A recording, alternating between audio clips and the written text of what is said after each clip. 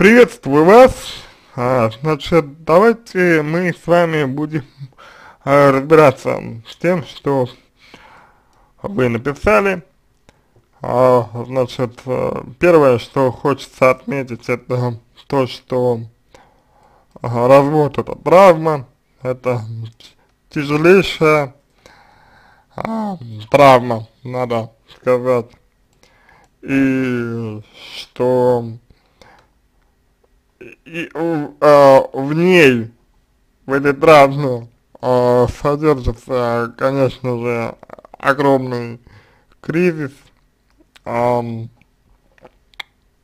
отношений, а, кризис в первую очередь вашего отношения к себе, кризис в первую очередь а, вашего восприятия себя самой, вот. И как бы вот я думаю, что то, как вы к себе относитесь, да, то, как вы к себе относитесь, а, и определила все, что с вами по итогу происходило. Определила то, что по итогу а, было, было у вас. Вот. То есть я думаю, что в первую очередь нужно вам а, переформировать свое отношение к себе. Ради чего вы выходили замуж, например? А откуда такая спешка за мужеством 20 лет? А если родители были против, как вы это воспринимали? А из-за чего были ссоры с мужем? То есть, ну, то, что он, а, то, что он а, вел себя так, это, конечно, с его стороны ответственность, но и с вашей стороны тоже ответственность, ведь вы позволяли ему так э, вести себя с вами. Вот. Я полагаю, что с этим и нужно разбираться. Я полагаю, что в этом и кроется одна из причин. То есть вот в ответах на эти вопросы и распутывании эти, этого клубка. Далее. А, следующий важный момент заключается в том, что вас сейчас ничего не радует, и апатия.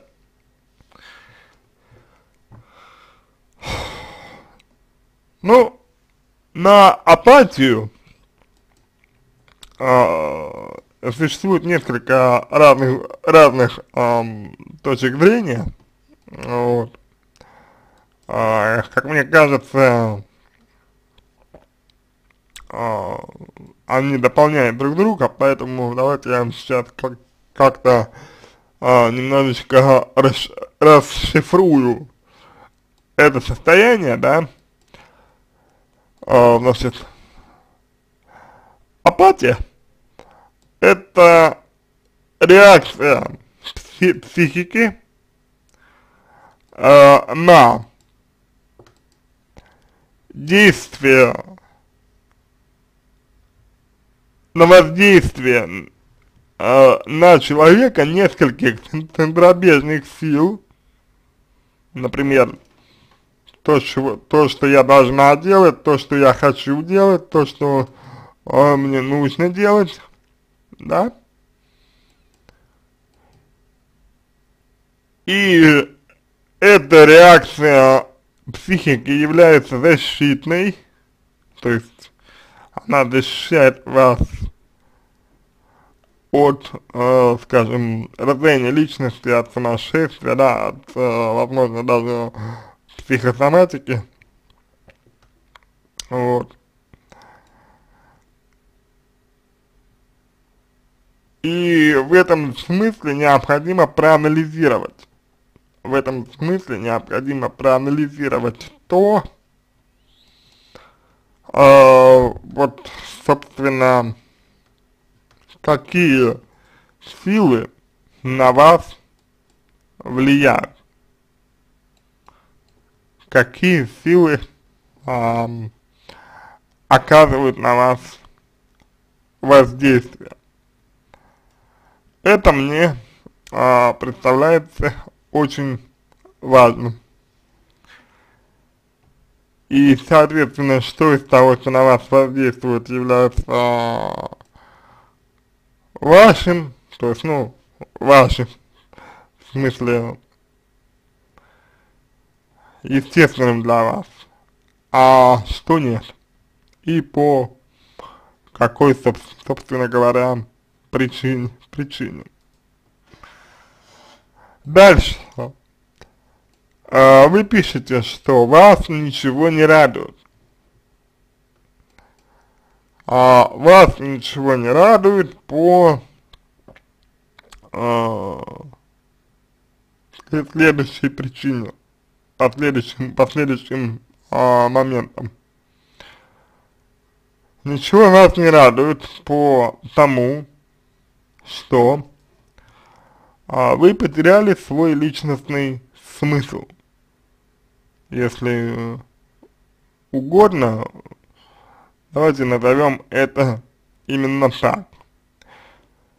А вам необходимо сравнить то, ради чего вы жили все это время, ради чего вы боролись, ради чего вы э, терпели, ради чего вы там ломали себя и, так далее. Вот. Значит, ради чего все это было вами э, сделано? Ради чего, для чего, с какой целью, какой был мотив, все вот эти истории необходимо определить. Это важно. Это, это очень важно. И после этого необходимо, необходимо. А, также, чтобы вы подумали, а вот сейчас, на данный момент, чего я